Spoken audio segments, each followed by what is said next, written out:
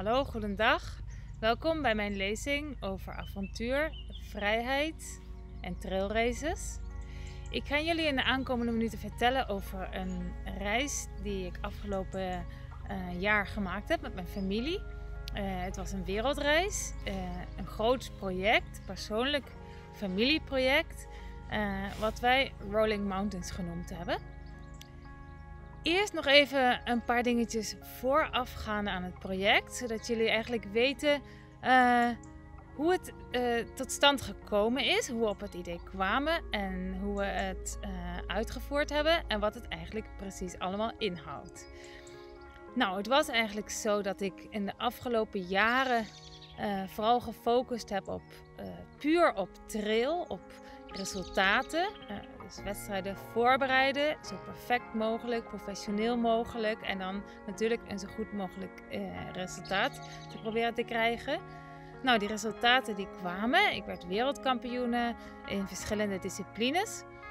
En toen ik dat eenmaal bereikt had, had ik het gevoel dat ik toe was aan iets nieuws. Uh, en ik wilde graag langere trails gaan lopen. Ik wilde graag dingen doen die iets ja, completer waren op de een of andere manier. Dus ja, toen kwam al uh, eerst het idee om uh, Marathon des Sables te gaan lopen. Uh, dat ging goed, succesvol en het was een hele mooie ervaring. Later heb ik CCC voorbereid. Dat is een wedstrijd van 100 kilometer van de UTMB. ook een goed resultaat bereikt. Transvulcania, andere wedstrijden die ik ja, eigenlijk op mijn lijstje had staan. En ja, toen toen kwam het nieuwe seizoen er weer aan. En ik dacht, wat kan ik dit seizoen doen? Iets wat heel compleet is. Um, ja, waar ik bij mijn familie bij kan betrekken. En ja, waar ik ook zelf voldoening uit kan halen. Zo langzaam bestond het idee um, dus om op elk continent te gaan lopen. Want ik hou van reizen. En uh, het leek me mooi om een ultratrail op elk continent te lopen. Een belangrijke ultratrail. Dus dat was het eerste idee dat ik had. Toen ik toen aan, aan het reizen begon te denken, dacht ik van ja, maar moet ik daar in mijn eentje heen? Ik wil graag mijn familie meenemen. In ieder geval Onna. Mm, mijn partner die was aan het studeren, dus die wilde ik eigenlijk helemaal niet lastigvallen met mijn seizoensplanning. Dus ik zat te denken, hoe kan ik dat gaan doen met Onna? Uh, ja, ik kan iemand meenemen of daar mensen zoeken die me dan helpen met haar. En, uh, maar op een gegeven moment dacht ik van ja, misschien lijkt het Peren toch wel leuk om, om, om mee te gaan. En uh, lijkt het hem ook een mooi project. Dus ja, een keer bij een lunch stelde ik hem het aan hem voor. En hij zei gelijk, wauw, dat is een, echt een super gaaf idee. En ik zet de studie even opzij voor een jaar. En laten we dit gaan doen, laten we het goed plannen. En laten we er iets heel moois van maken. Dat was nummer twee. Daarna was het eigenlijk nog zo dat we uh, ja, dat, dat, er nog iets miste. En dat we ook graag uh, wilden delen wat we zouden gaan doen met de mensen. Sinds dat Onna geboren is, zijn er altijd veel mensen die heel erg uh, ja, heel gefascineerd zijn eigenlijk met ons uh, ja, onze manier van leven, onze levensstijl die we ontwikkeld hebben. Toen zij geboren werd, toen was het voor ons heel duidelijk dat we graag door wilden met trail, met wedstrijden lopen. Mm, maar dat we dat dan samen wilden doen in familieverband. We wilden haar niet bij haar grootouders of bij iemand anders achterlaten, maar we wilden haar uh, overal bij betrekken en onze passie zo met haar delen. Dus dat hebben we altijd gedaan. En ja, mensen vinden dat vaak heel fascinerend en inspirerend. En uh, vragen zich dan ook echt af: hoe doen jullie dat nou? Hoe kunnen jullie op topniveau presenteren?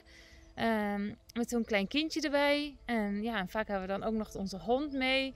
Uh, als het binnen Europa is en we over land kunnen reizen. Dus ja, dat zijn allemaal vragen die we op ons, als op, uh, ja, op ons afkwamen, zeg maar. En uh, dus dat was het, eigenlijk het derde idee van het concept. Uh, dat we graag wilden vastleggen wat we deden. En, en zodat mensen dat ook daadwerkelijk kunnen zien. Hoe we dat in de praktijk allemaal regelen. Met, met het reizen, met ONA, uh, voorbereiding. Dus dat allemaal. Dus um, vandaar het idee om op reis te gaan met een cameraman. Die dat allemaal in, op natuurlijke wijze zou vastleggen. Dit is een beetje het basisconcept. Daarnaast um, wilden we ook graag de mooiste plekken in de natuur die wij dan tegenkwamen op de verschillende continenten vastleggen. En deze ook met mensen delen. Zodat mensen eigenlijk kunnen zien ja, hoe mooi de wereld is. Um, en dat het het ook echt waard is om goed voor onze planeet te zorgen. Ja, dit zijn eigenlijk de, uh, dit zijn eigenlijk de waardes uh, die we ja, vastlegden aan het project. We hebben het zelf helemaal in elkaar gezet, zelf wedstrijden uitgezocht, zelf sponsoren gezocht om het allemaal te kunnen bekostigen. want daar zit een, er zit een flink prijskaartje aan vast natuurlijk. En ja, dan is het eigenlijk zo dat vooraf aan uh, voorafgaand aan de reis konden we natuurlijk op een hele professionele manier trainen. En, uh, en dat was natuurlijk iets wat tijdens de reis helemaal door elkaar gegooid zou worden. Dat wisten we van tevoren. Voeding, mm, ja, lichamelijke verzorging, gewoon uh, massages, dat soort dingen. Daar was allemaal geen plaats meer voor in één keer. Ook de bekende routes die, uh, waar je normaal traint. Misschien iedereen heeft thuis wel zijn eigen routes. Als je nou technisch wil, iets vlakker, iets meer bergachtig. Ja, het ligt maar voor de hand. Je kent precies je routes. En uh, je weet hoe lang ze duren. Dus je weet precies waar je kan trainen altijd. Ja, dat namen we eigenlijk allemaal uh, weg van ons zelf. En ja, we gingen het avontuur daadwerkelijk tegemoet. Eerste week van december 2020 begon de grote reis. Het eerste continent waar we aan naartoe gingen reizen was Azië. We hadden het goed gepland. De hond mocht mee. En het eerste doel was Nepal. In Nepal hadden we eerst een uh, persoonlijk familiedoel. En dat was om naar het Everest Basecamp te, trek, uh, te hiken. Super mooie ervaring. Uh, ik was vooral onder de indruk eigenlijk hoe Onna, onze 50-jarige dochter, um, daarmee omging. Vooral beïndrukt door haar wilskracht en doorzettingsvermogen. Het was niet al te makkelijk voor zo'n klein hummeltje natuurlijk. Um, om, om steeds hoger die bergtop op te gaan. We hadden te doen met hoogte, we hadden te doen met kou, vooral. En natuurlijk met heel ander soort eten en andere culturen. Maar dat is misschien voor een klein kindje makkelijker om mee, om te gaan. De hoogte uh, merkten we dat ze zich zeer goed aanpasten. En de kou was iets moeilijker. We moesten, hoe hoger we kwamen, hoe, hoe, hoe meer we moesten inpakken. Laarsjes, uh, warme sokken, hele dikke jas, mutsen, handschoenen. Er kwamen steeds meer dingetjes bij. We merkten dat zij uh, iedere keer door wilde. We hadden op elk moment eigenlijk het idee van... zo gauw zij aangeeft dat ze er genoeg van heeft, stoppen we ermee. Want dan heeft het uiteindelijk geen zin meer. Het was een familiedol en we wilden het samen behalen als dat zou lukken. Dus zo kwamen we iedere keer hoger. Uh, met een uh, fijn dagritme. In de ochtenden gingen Per en ik meestal hardlopen zodat we ook aan onze sportieve kant konden werken, fit konden blijven en aan de hoogte konden wennen uh, met hardlopen. Dat was zeer interessant natuurlijk voor ons. En, uh, en daarna gingen we rustig ontbijten en dan gingen we met Onna op stap. Het was ook fijn, want het was dan ietsje meer rond de middag en de temperaturen lagen dan iets hoger. Maar ja, met Bedoel ging alles prima. Uh, er waren veel mensen die bezorgd waren, want uh, hij heeft natuurlijk een heleboel haren. En uh, ze dachten dat het moeilijk zou zijn dat, dat de sneeuw aan zijn vacht zou blijven kleven. Dat hij misschien ook moeite had met de hoogte, maar nee, helemaal niet.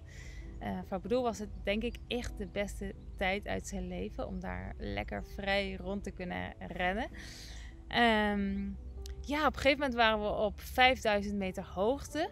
Um, allemaal prima. We hadden de laatste uh, etappe nog voor de boeg. En uh, daar was het op een gegeven moment zo dat we in een sneeuwbui terecht kwamen. En uh, ja, dat het moment kwam dat On ook aangaf van... Mama, papa, ik heb het koud. Ik wil niet meer verder. Dus we bleven net, net, net een heel klein beetje voor... Echt letterlijk 300, 400 meter voor het Everest Base Camp bleven staan...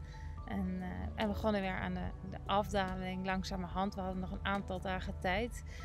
Maar goed, al bij al een super mooie ervaring. En ehm, ja, het voelt alsof we het helemaal ja, voltooid hebben eigenlijk. Daarna was het tijd om naar um, Hongkong te gaan. Um, de hond kon hier niet naartoe mee, dus die hebben we op het vliegveld, uh, vliegtuig gezet, weer terug naar Spanje, waar de familie van Perre um, ja, hem opving en voor hem ging zorgen. Hongkong was uh, meer prestatiegericht. was nogal een hele omschakeling. Het was sowieso al wennen geweest de afgelopen tijd aan, uh, ja, aan, het, aan, aan alle en het ontbreken van alle, ja, de vaste structuur, van de vaste dag- en nachtritmes, het, het, het veranderde eten, de hoogte natuurlijk. Ja, alles eigenlijk. Het reizen, continu op andere plekken overnachten. Dus eigenlijk in Hongkong had ik het gevoel dat dit er allemaal al een beetje uit begon te komen. Er kwam een moment dat ik me op de grond neerzette en zei: oh, Ik denk dat ik geen goede wedstrijd meer kan uh, lopen, want ik ben gewoon op. Ik ben niet fris en uh, dat heb ik nodig om een wedstrijd goed te kunnen lopen. Maar goed, dit was natuurlijk uh, de uitdaging ook van het project. Dus uh, nou, op de dag van de wedstrijd had ik er zin in, goede motivatie. begon redelijk sterk. merkte op een gegeven moment dat ik niet mentaal sterk genoeg was om echt hard te pushen. Dus ik nam een stapje terug, uh, zodat ik me prettig voelde bij hoe ik aan het lopen was. Um, het was een 100 kilometer lange wedstrijd, dus er zijn flink wat uren uh, die je dan hebt om, om, ja, om te kunnen lopen, te genieten, na te kunnen denken. En uh, ja, ik kwam uiteindelijk in derde positie bij de finish. Um, eigenlijk heel tevredenstellend. Op dat moment was ik niet helemaal tevreden. Uh, achteraf, als ik uh, hier aan terugdenk en, en aan alle vermoeidheid, alle aanpassingen, dan denk ik dat ik heel erg tevreden mag zijn met dit resultaat. Ja, naar Azië ging de reis verder naar Zuid-Amerika. Zuid-Amerika uh, hadden we een heel speciaal familiedoel. Um, dat was de Aconcagua te beklimmen. Natuurlijk niet helemaal met Onne. Maar het was de bedoeling om het allemaal zo te regelen dat we um, dingen samen konden ondernemen. En uh, ja, konden laten zien uh, aan iedereen hoe we dat dan eigenlijk uh, doen met Onne. Waar ze kan blijven, terwijl wij verder gaan. En ja, hoe het allemaal in zijn gang gaat. Dus we gingen acclimatiseren in Bayesitas. dat is een plek wat geen nationaal park is, waar je gewoon naar, ja, naar binnen kan. Um, met uh, met kinderen of met, ja, met wie je wil eigenlijk. Um, daar konden we goed acclimatiseren. Je kan er tot 6000 meter klimmen. Uh, we zijn met Onna tot 4700 meter gegaan. Hebben daar uh, met tenten gebivakkeerd. aantal bergen beklommen. Er zijn een heleboel toppen waar je heen kan. Het is een super mooie plek om te acclimatiseren daar eh, kon Onna ook al tijd doorbrengen met de familie die voor haar zou zorgen. Dat zijn vrienden van ons die we al kennen, die Onna ook al uh, kende. Uh, ze hebben een dochter die ook vijf jaar is, dus dat komt allemaal precies goed uit eigenlijk. Uh, na Bajecitos gingen we terug naar beneden, Mendoza. Troffen alle voorbereidingen voor de Aconcagua daar voelde ik al dat ik me um, niet helemaal goed voelde. Ik denk vermoeid van alle beklimmingen en mijn buik begon uh, te klagen. Maar goed, uh, het idee was om de Aconcagua in drie dagen te beklimmen. In drie dagen, omdat we Onna zo min mogelijk uh, alleen wilden laten. De eerste etappe was zwaar. Ik merkte dat ik eigenlijk helemaal niet ja, goed in mijn vel zat. Dat mijn, mijn buik niet goed voelde. We kwamen aan, ik ging gelijk uitrusten. Uh, ja, ik wilde door de volgende dag, maar voelde dat het, uh, uh, ja, dat het moeizaam zou gaan. er is een verplichte medische check, dus ik zei, nou, als, ik, als het toch het geval is dat de hoogte op de een of andere manier greep op me heeft gekregen, dan, dan zal dat hier uitkomen en dan, ja, dan blijven we een dagje extra. Of dan kijken wat we gaan doen. zo niet, dan wil ik door. Ik voelde me helemaal beroerd, maar de test was positief. Dus ja, ik mocht omhoog en ik voelde dat ik ook geen excuses had om dat niet te doen. Dus ik sleepte me voort omhoog. Pierre hielp me met mijn grote rugzak, want ja, ik, ik was eigenlijk te zwak om, om dat allemaal zelf te doen.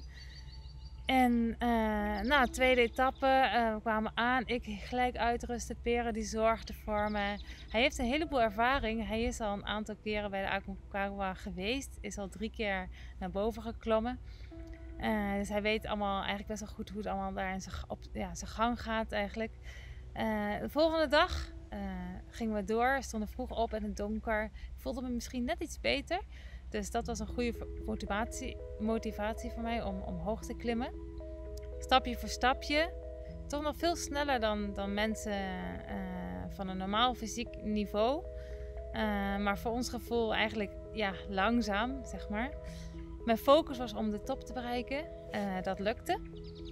Daarna was het wel moeilijk om weer naar beneden te komen. Het is onvoorstelbaar, maar soms lijkt het of het ma makkelijker is om te klimmen uh, dan, dan, dan omlaag te gaan als je zo zwak bent. Dus uh, dat was nog een, hele, ja, een hele klus voor mij om weer terug te komen naar het uh, basecamp daar. daar. En nou, het ging allemaal goed. met rust kon ik daarna weer door, verder naar beneden. En de dag daarna konden we weer naar de uitgang van het park, waar onder ons met Fran en Goelie op stonden te wachten.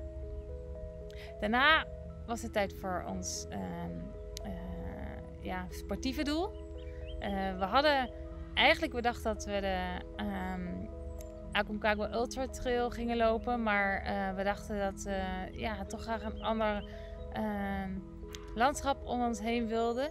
En eh, gingen naar Marilotje, Quattro Refugios, de vier bergen daar lopen. Een wedstrijd van 50 kilometer op super technisch terrein. Je moet een helm op bij, bij de wedstrijd voor door het gevaar voor uh, ja, die op je hoofd kunnen vallen. Hele mooie wedstrijd. Uh, ondanks dat ik mentaal niet zo um, sterk was, nee, fysiek vooral eigenlijk niet zo sterk was, had ik toch het gevoel dat ik mentaal de kracht vond om uh, van, ja, van um, achter naar voren te werken. Dus ik begon eigenlijk in de vijfde of zesde positie, klom steeds verder naar voren en uiteindelijk kon ik de wedstrijd winnen. Hele mooie ervaring. Um, ja, uh, tevreden, uh, genoten van de uitzichten. En we hadden nog tijd op dit continent, dus gingen we door naar Bolivia. Dat was een hele mooie manier om meer van de cultuur te leren kennen. Daar de mensen, de trail community. We hadden zelfs nog de kans om een wedstrijd te lopen. Uh, een hele hoge wedstrijd. Op bijna, ja, hij begon op 4700 meter. En de gemiddelde hoogte was 5200 eh, meter. Dus zeer hoge wedstrijd. Een, uh, een echte test voor mijn lichaam weer. Uh, mooi om te zien dat zowel Per en ik allebei de wedstrijd konden winnen. ondanks alle moeilijkheden van het reizen waren we toch nog op een goed niveau om, om zo te kunnen presteren. Nou, tot nu toe heb ik nog eigenlijk helemaal niet iets gezegd over het coronavirus. Uh, het jaar dat wij gekozen hadden om te reizen was natuurlijk uh, ja, achteraf gezien een, een, onvoorstelbaar jaar om te gaan reizen. Uh, niemand zou het ooit gepland hebben in een coronajaar. Um, ja, wij wisten van allerlei dingen die we hadden kunnen bedenken die mis zouden kunnen gaan. Zoals blessures, ziektes, familieleden die een probleem hadden. Hadden we nooit bedacht dat dit een van onze moeilijkheden zou kunnen worden. Um, in het begin in Hongkong um, hadden we helemaal nog geen last van het coronavirus. Uh, het begon daar precies toen wij net weer vertrokken waren. In Zuid-Amerika was het eigenlijk hetzelfde geval. Iedere keer als wij weer weggingen uh, uit een land, dan uh, begonnen daar een beetje. ja, begonnen er gevallen te komen, bekend gemaakt te worden. We hadden zelfs nog soms een keer het gevoel van, zijn wij degene die dit virus verspreiden? Uh, nou, in Bolivia waren een aantal gevallen, uh, maar we hadden verder nog geen hinder ervan. Er waren ook geen beperkingen, we konden gewoon reizen. Um, totdat we na Bolivia eigenlijk nog naar Peru wilden. En daar waren wel een aantal coronagevallen. En, uh, waardoor we besloten niet meer naar Peru te gaan. Want in die tijd was iedereen in Europa al opgesloten in huis. Niemand kon meer reizen. En ja, we zagen eigenlijk een beetje aankomen dat de landsgrenzen dicht zouden kunnen gaan. En ja, dat gebeurde ook. dat gebeurde toen wij net in Costa Rica aankwamen. Dus net de dag nadat wij in Costa Rica geland waren, werden, deze, werden de landsgrenzen gesloten. En als we één dag later hadden willen reizen, dan waren we niet meer uh, in Costa Rica terecht gekomen. Nou, we waren heel erg blij dat we hier waren, een nieuw continent. Ehm, we wisten niet wat we precies konden gaan doen hier. En of we Rolling Mountains verder konden laten gaan of niet. De wedstrijd was afgelast. Vulcano Ultramarathon, een zevendaagse wedstrijd. Uh, dus we hadden geen wedstrijd. Dat was een verandering in ons ja, concept. We hadden ook geen persoonlijke uitdaging. Want ja, het was eigenlijk de bedoeling dat, ondanks dat er maar iets van zeven gevallen waren van corona daar, zei toch de regering dat mensen zo min mogelijk moesten ja, bewegen. Dus je moest je zo min mogelijk verplaatsen. Nou, dat sloot een heleboel dingen uit natuurlijk. Dus wij bedachten van wat kunnen we doen? toen kwamen we op het idee om van een zelfisolatie onze uitdaging te maken, onze familieuitdaging. Dus we zochten uh, naar, ja, naar een bepaalde, een speciale manier om dit te doen. En kwamen op het idee om in de natuur te gaan leven. Op een hele eenvoudige manier. En, en, een echt nomadenleven te leiden. We vonden onze plek met de boot, gingen we op, op zoek. namen basisdingen mee, zoals een touw, een vislijn, een zeil we hadden twee hele simpele tenten, die overigens niet waterdicht waren. Uh, we een mes en we hadden wat pannetjes. En een aansteker natuurlijk om vuur te kunnen maken. We hadden provian voor drie weken. En zo gingen we op zoek, stapten uit de boot en ja, vonden onze plek waar we de aankomende weken wilden doorbrengen. Het was zeer, zeer interessant om zo in de natuur te leven. Uh, voor Onna was het denk ik een hele ja, leerzame, speciale tijd. Uh, we merkten dat zij uh, super gelukkig was met dit simpele leven. En eh, ik denk eigenlijk dat het over het algemeen zo is dat kinderen en ook volwassenen natuurlijk helemaal niet zoveel nodig hebben. En ja, kinderen kunnen eigenlijk met hele simpele dingetjes zich heel goed vermaken. Al zijn het maar steentjes of krabbetjes. Eh, bladeren. Uh, Onna maakte vaak salades voor ons. Dus ja, het was eigenlijk um, ja, een prima bestaan voor haar. Voor ons soms misschien iets ingewikkelder. We moesten hout sprokkelen, vuur maken met het vochtige hout. In Costa Rica regent het elke dag. we moesten omgaan met, het, ja, met, met de vochtigheid en met de hitte. Um, vissen vangen. Want op een gegeven moment hadden we natuurlijk geen, geen eten meer. En na drie weken merkten we dat de maatregelen vanwege corona niet veranderd waren. Dus we besloten daar langer te blijven. En uiteindelijk beleven we 57 dagen op ons plekje. in de, vlak bij het strand, in de jungle.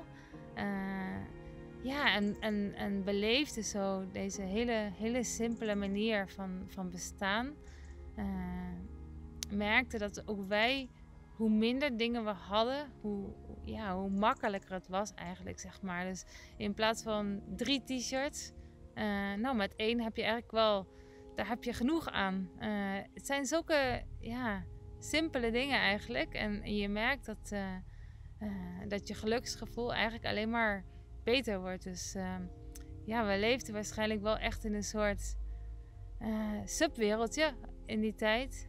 Maar het was een, een, een erg speciale, erg spirituele ervaring. Um, het was een soort integratie in de natuur, waarbij we merkten dat je, uh, ondanks dat we gewend zijn veel tijd in de natuur door te brengen, dat we nog een diepere verbinding met de natuur konden aangaan. Ja, het was ook tijd voor een sportief doel. Uh, geen wedstrijd, maar we vonden toch een manier om, om dat te doen. Want ja, we hadden verschillende junglepaden ontdekt waar we konden rennen. We hadden een klim van ruim 400 hoogtemeters die we op en af konden. Omhoog en omlaag was 4,6 kilometer.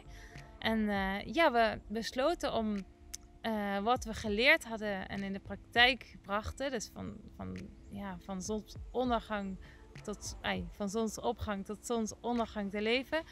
Om dat te combineren en een wedstrijd te lopen in die tijdspan. En te kijken hoeveel klimmen en dalingen we konden maken in die tijd. Uh, super mooi doel. Een van de zwaarste dingen die ik ooit gedaan heb. Het was een hele steile technische klim. Uh, met de hitte van Costa Rica uh, zeer zwaar. De vochtigheid maakte ook dat, het, dat de goede hydratatie absoluut noodzaak was. Pere eerst zijn, ja, zijn, ultra. hij klom 15 keer omhoog en omlaag. Oefende het eten. Ik zat beneden iedere keer. Had eten voor hem daar. Dus um, hij kwam weer opnieuw naar boven. Had nog het geluk om een puma daar te zien in de wildernis. En ja, ik was twee dagen later aan de beurt. Maakte 13,5 uh, klimmen en, en dalingen. Uh, zeer tevreden. Ik denk in verhouding dat we ongeveer hetzelfde hebben gelopen. En ja, dat we allebei gewonnen hadden. Na onze mooie ervaringen in Costa Rica was het dan toch tijd om terug te keren naar Europa. Het was de bedoeling geweest om naar Noord-Amerika door te reizen, maar daar was de situatie vanwege corona zo uh, ja, onvoorspelbaar en, en, zo slecht eigenlijk dat we besloten niet naar Noord-Amerika te gaan. We hadden daar ook geen wedstrijd kunnen lopen en um, ja, dat was toch eigenlijk wel uh, wat, we, um, wat we wilden daar. Dus we kwamen in Europa. Heel erg blij om Broe, onze hond, weer te zien. En de familie van Peren. Uh, mijn familie uh, kon ik destijds nog niet zien, want die wonen natuurlijk in Nederland. Uh, na een aantal dagen daar in Europa geweest te zijn, kregen we een e-mail vanuit een wedstrijdorganisatie in Zwitserland of we deel wilden nemen aan een wedstrijd daar. Nou, we dachten eigenlijk dat de Rolling Mountains even op een laag pitje moest staan. Maar in één keer zagen we mogelijkheden om, om toch dit continent te kunnen filmen. Dus uh, ja, we begonnen aan de slag. het eerste doel was een, een fietstocht vanuit Matadepera, het dorp waar we hier in Catalonië wonen, naar Isil. Dat is het dorpje waar Pere vroeger in zijn jeugd de zomers doorbracht. Het was een fietstocht van bijna 300 kilometer. Um, hele dag op de fiets natuurlijk. Aantal flink wat hoogtemeters kwamen erbij kijken naar de Pyreneeën. Hele mooie ervaring. Voor mij een goede manier om mijn lichaam een beetje te ontlasten. Want ik had toch een beetje um, uh, last van een. Ik had last van mijn kuit. En uh, de impact van het hardlopen moest ik een beetje vermijden. Dus dit was een hele mooie manier om samen een, ja, iets te doen.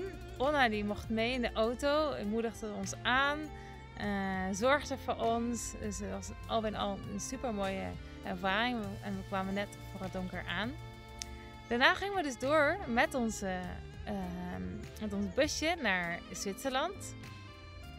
Voor tussendoor nog een tussenstop in Frankrijk bij Elke Staal. Uh, hij heeft daar een hotel, Hotel Esprit Montagne, waar we elke, meestal elk jaar uh, een weekje heen gaan om met andere mensen uit de Nederlandse trail community tijd door te brengen en, en samen te trainen en wet, onofficiële wedstrijdjes te lopen. We hadden een aantal hele mooie dagen daar. Ik voelde dat ik steeds weer meer kon hardlopen met mijn, met mijn kuit. En uh, ja, toen gingen we door naar de wedstrijd. Uh, daar stond een hele uh, pittige wedstrijd op ons te wachten. 112 kilometer met 8500 positieve hoogtemeters. Dit zou voor ons beiden waarschijnlijk de langste wedstrijd worden in, in uren gezien dan, in, in afstand niet. ja, hele mooie wedstrijd. zware wedstrijd zorgen om mijn kuit, van allerlei ongemakken. maar toch, het lukte me om de wedstrijd uit te lopen en te winnen. Dus voor mij was dat zeer, zeer tevredigend. Peren kon hem niet uitlopen. Hij had problemen met zijn maag, waardoor hij moest stoppen. Uh, en waardoor we besloten uh, nog een andere wedstrijd voor hem te zoeken. Met als doel om alleen uit te lopen. Nou, het normale bestaan beviel ons zeer goed natuurlijk in ons busje. Uh, met onze hond erbij. Vrienden van ons kwamen uit Catalonië om op Onna te zorgen. Dat was iets spontaans. Dus die oplossing voor Onna en de hond, die kwam eigenlijk spontaan uit de lucht vallen. Uh, zo zie je maar weer dat meestal alle dingen op zijn pootjes terechtkomen. Nou, na deze wedstrijd gingen we door. Uh, we hadden eerst nog een pauze. gingen naar Italië. Mm, Schoppan een beetje tussen Zwitserland, Italië, Frankrijk. bracht een hele mooie week door met mijn familie. Uh, dat was nog een gedeelte dat ik miste, omdat ik, uh, ja, het was niet zo makkelijk om een reisje naar Nederland in te bouwen. Maar mijn familie, en zowel mijn broer als mijn zus, die konden naar, naar onze plek komen. En dus dat was fantastisch voor mij om, om, ja, om toch even bij mijn familie te zijn. En dat hoorde toch echt bij Europa, ons continent, tenslotte. En toen was het tijd om terug te keren. Moeilijk afscheid weer van mijn familie. En, uh, en Peres wedstrijd hier uh, voor te bereiden. Uh, wedstrijd ging goed. Het eerste gedeelte was voor hem competitief. Totaal competitief. Hij liep goed, sterk. Totdat hij instortte. Weer dezelfde problemen met zijn maag, waar hij vaak last van heeft. Maar het doel was om hem uit te lopen. En dat hadden we echt zo uh, afgesproken dat uh, tenzij dat hij echt een probleem zou hebben, als een blessure of iets heel belangrijks, dat hij door zou gaan. hij heeft die kracht gevonden, is doorgegaan tot het einde. Niet heel competitief, maar meer een soort ja, overwinnings- uh, overlevingsrace gelopen. kwam bij de finish. Ik super trots. en ik denk voor hem een heel belangrijk leermoment. Waar hij in de toekomst veel baat uh, bij heeft en al heeft gehad. Ja, na Europa uh, was het inmiddels al eind augustus. Dus we hadden al een flink gedeelte van het jaar erop zitten. het was duidelijk dat we niet alle continenten konden gaan doen in één jaar. Maar um, we konden verder. we hadden onze manier gevonden om met het coronavirus om te gaan. Door altijd plekken te zoeken in de natuur waar we eigenlijk helemaal mm, geen last hadden van het virus. Uh, en gewoon vrij konden zijn, ons vrij konden voelen en, ook gewoon ja, ons kunnen, uh, konden bewegen uh, waar we ook heen wilden. Na ons avontuur in, na de wedstrijd van Peren gingen we eerst weer terug naar onze, onze woonplek in, in waar de ouders van Peren eigenlijk wonen. We hadden zelf eigenlijk helemaal geen huis meer hier, maar uh, wel nog een, een plek, een thuis waar we konden overnachten. Bij zijn ouders dus. En, en we begonnen weer na te denken van, ja, wat kunnen we nu? Kunnen we nog een ander continent filmen? Oceanië was helemaal dicht, al sinds enige tijd. Noord-Amerika was nog steeds geen goede optie. Antarctica ook niet. Uh, dus uh, ja, het continent dat wel mogelijk was, althans gedeeltelijk, was uh, Afrika. Het was nog een hele vraag wat we konden gaan doen in Afrika, maar we zagen dat, dat je naar Tanzania kon vliegen. Tanzania is het land waar Kilimanjaro is. Dus dat was voor ons eigenlijk al een, een cadeau. Uh, want het was een van onze familiedoelen daar. We wilden Kilimanjaro beklimmen, een berg van bijna 6000 meter hoog. Dus uh, ja, we besloten daarheen te gaan. Uh, helaas, broer moest weer thuis blijven omdat het een nationaal park is en hij kon niet mee. Onne was inmiddels zes jaar, een stukje groter. Haar Nederlands was zeer verbeterd in de tijd. In de afgelopen maanden eigenlijk. sowieso leuk om te vermelden misschien dat Onna voorafgaan aan de reis alleen Catalaans tegen mij sprak. Ondanks dat ik altijd met haar Nederlands praatte. En vanaf dat we op reis gingen, zij besloot om tegen mij ook Nederlands te praten. Dus vandaar die hele ontwikkeling, ontwikkeling tijdens het jaar. haar Nederlands werd steeds beter. En voor mij natuurlijk heel speciaal om met mijn dochter deze band te hebben. Nou, we kwamen in Tanzania besloten eerst Mount Meru te beklimmen. Een berg van bijna 406, 4600 meter hoogte. In drie dagen.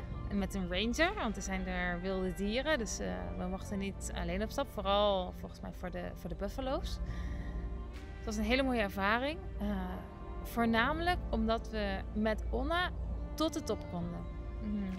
We waren met Onna natuurlijk al in Nepal op ja, hoger geweest eigenlijk. We waren daar tot boven de 5000 geweest. En uh, hier in Mount Meru was de top uh, eh, 4600 meter. Maar het was een bergtop. En dat is natuurlijk heel speciaal als je zoiets met je dochtertje kan doen. Bovendien was het zo dat ik deze keer graag ook uh, zelf vaak bij me wilde hebben. Dus we spraken af met Peren dat, ik, dat we 50-50 zouden doen. Ik kon, mocht haar de helft van de wedstrijd, uh, van de wedstrijd, van de, de, de hike naar de top, zelf op, op mijn rug dragen. En dat was zwaar, maar zeker, zeker de moeite waard. Alle gesprekken en alle indrukken die je, die je hebt met je dochtertje samen dicht bij je, dat is echt onvoorstelbaar, natuurlijk. Nou, de verrassing kwam eigenlijk bij de afdaling, bij de laatste dag dat we giraffen tegenkwamen. Het was echt een soort ja, theater of een, uh, een filmvoorstelling. We stonden naar ze te kijken op een twee meter afstand. Konden zien hoe ze met elkaar stoeiden, die, die twee giraffen. Dat was echt onwijs mooi om te zien. En het was ook zelfs zo dat Onne zei: Mama, pak kan je de popcorn tevoorschijn pakken? We zijn, we zijn bij de film. We zijn een film aan het kijken. Dus iets, een moment dat ik uh, nooit meer zal vergeten. Dus dat heel mooi. De top was overigens uh, ook een hele mooie, uh, ja, een mooi doel om te bereiken. Onne, het was wel zo dat Onne helemaal op het moment van de, dat we bij de top kwamen zich niet zo goed voelde. Al was het door de hoogte, door de kou. Ik denk door de kou, omdat we ja, in het donker eigenlijk een groot gedeelte van de klim hadden gedaan wel weer mooi om de zon daar te zien opkomen. En ook mooi om te horen van Onne dat uh, toen we naar beneden liepen en ze weer helemaal blij was, dat, ja, dat ze de zon had zien opkomen op het topje van de berg. Dus dan toch weer al die indrukken meekrijgt. Nou, daarna was het tijd voor Kilimanjaro. Ook een hele mooie klim, stapje voor stapje, elke dag een etappe. De vrolijkheid van de mensen, de cultuur. Het was een super mooi avontuur. Uh, laatste etappe mocht Onna niet mee. Was weer een moeilijk moment om haar achter te laten bij een vrouwelijke gids, die overigens super goed voor haar zorgde. En uh, Onna had een super leuke dag zonder ons toen wij uh, naar de top gingen van de berg. Dus ja, het was best wel. Het was natuurlijk niet geheel spontaan dat de vrouw voor haar ging zorgen, maar het was wel iets wat we daar voor haar regelden. Dus uh, voordat we naar de Kilimanjaro gingen, wisten we nog niet hoe we het zouden gaan oplossen en of er, wie er voor haar zou kunnen gaan zorgen. Um, ja, zeer dankbaar dat het allemaal dan weer op, zijn plaats valt natuurlijk. En een super mooie ervaring. Um, gedeeltelijk ook omdat er totaal geen toeristen waren in Tanzania. Uh, je kon daarheen, er waren geen beperkingen, want het land was mm, schijnbaar COVID-vrij. Uh, maar de toeristen bleven toch weg, dus we hadden de hele berg voor onszelf. Na Tanzania wisten we eigenlijk helemaal nog niet wat we nog meer konden doen in, in Afrika. We keken iedere keer alle mogelijkheden na. Marokko, eigenlijk um, Reunion Island. We zochten natuurlijk een wedstrijd. Uh, ja, het was best wel lastig eigenlijk om, om, om, om te bedenken wat we konden doen. Uh, maar we waren daar, we hadden de cameraman bij ons en we waren ja, ervan overtuigd en, dat, we, dat we dit continent goed konden gaan filmen met, een, met wedstrijden erbij. Uh, we gingen eerst naar Iten,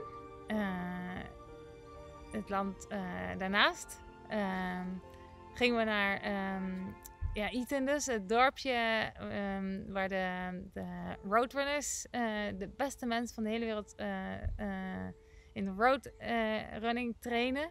Super mooie ervaring. voor ons ook om op hoogte te trainen en hard te trainen. Dus echt op snelheid. hebben we daar een aantal weken doorgebracht.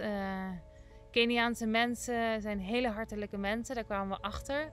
Um, we kwamen erachter dat uh, ja, de overheid is misschien best wel uh, ja, rot, zeg maar, om het maar even zo te noemen. Uh, en de mensen hebben het niet makkelijk, maar het zijn mensen die met heel weinig heel tevreden kunnen zijn en alles graag willen delen. Mensen daar zeggen het ook wat heb je er nou van als je dingen hebt en je kunt ze niet met mensen delen? Um, alles wat ze hebben, willen ze het liefst met je delen. Uh, graag tijd met je doorbrengen, je dingen laten zien. En dat is echt de hartelijkheid van Kenia die we, die we daar in Iten hebben, leren kennen. Uh, behalve dan de, de, motivatie en de andere hardlopers die we daar hebben leren kennen. En, te zien hoe hard zij trainen om voor um, om een bestaan op te bouwen en om voor hun families te kunnen zorgen door middel van, van het hardlopen. Kenia, super mooie ervaring. Uh, terwijl we in Kenia waren, uh, waren we dus op zoek naar een wedstrijd. In Kenia waren geen bergwedstrijden.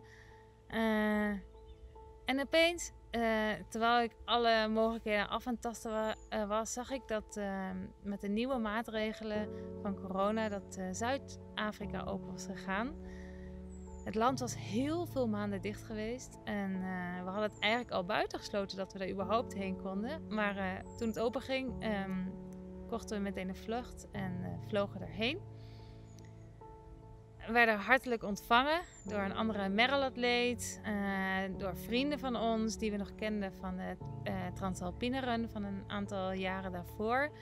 Mensen lieten ons het land zien, de omgeving, uh, Kaapstad in eerste instantie. We kwamen in aanraking met de Afrikaanse taal, die erg op Nederlands lijkt. Uh, voor mij gaf dat echt een, een, gevoel van verbondenheid met het land. En gewoon ook ja, de mogelijkheid om, om zelf niet Afrikaans te praten, maar het wel te kunnen verstaan. En uh, en niet alleen in het Engels te, te, communiceren met de mensen daar. Dus dat was erg mooi. Um, Onna pikte zelfs een paar Afrikaanse woorden op. in plaats van wij zegt ze bijvoorbeeld vaak ons. Dat doet ze nog steeds. Uh, ze leerde ook uh, om, om zich in het Engels te redden daar. Dat was een hele ja, mooie, mooi iets om te ontdekken. Um, ja, en daar in, in Zuid-Afrika hadden we dus ook uh, de mogelijkheid om wedstrijden te lopen. Het was zelfs zo dat we niet één wedstrijd liepen, maar vier wedstrijden uiteindelijk. Verschillende wedstrijden. Eerst een marathon, de Otter Trail, super mooi aan de kust. Daarna ons hoofddoel, de Ultra Skyrun, uh, 100 kilometer.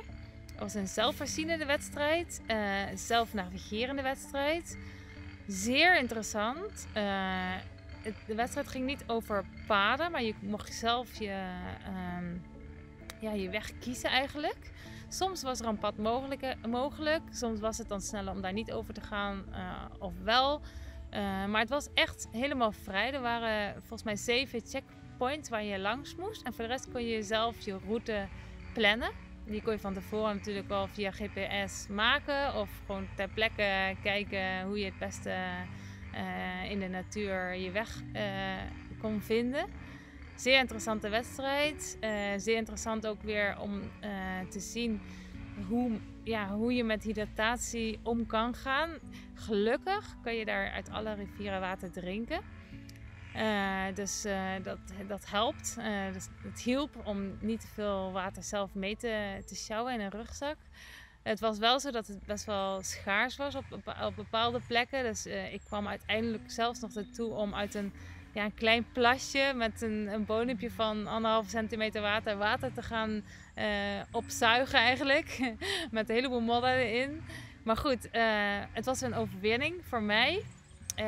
Pere ook. Mm, dus zeer tevreden met ons resultaat daar. Eh, ja, en daarna was het tijd om ook tijd, nog meer tijd met onze vrienden door te brengen. Ehm, tijd om uh, wildreservaat te, te bezoeken. Daar hadden we een hele mooie ervaring uh, met een heleboel dieren. Nou, ik zal jullie graag meer vertellen over alle ontmoetingen met, met de dieren. De leeuwen, cheetahs, giraffen, olifanten, ehm, andere wilde dieren. Maar de tijd is op, helaas. Um, ik hoop dat, jullie, dat ik jullie een beetje heb kunnen vertellen over onze avonturen. Uh, dat jullie genoten hebben en dat jullie graag meer willen weten. Dat kan, want we hebben dus van elke, elk continent een episode gemaakt. Uh, waarin je eigenlijk echt het beste kunt zien wat we allemaal beleefd hebben. Dus ik raad die zeker aan. Die kunt u vinden op de website van www.rolling.mountains.com. Dan word je automatisch doorverwezen. En ook via ons YouTube uh, kanaal. Uh, ook gewoon Rolling Mountains uh, episodes intypen. Het komt zo op via Google. Dus ja, ik, ik antwoord graag vragen als jullie die hebben. En anders heel veel plezier. En ja, eh, ik ga door dit jaar uh, met uh, dingen te beleven. Hopelijk um, kunnen we naar Amerika, naar het Antarctica en Oceanië op de een of andere manier. En voor de rest worden, wordt het wedstrijden. We gaan verschillende internationale wedstrijden lopen. Dus als jullie zin hebben, volg me graag. Doei!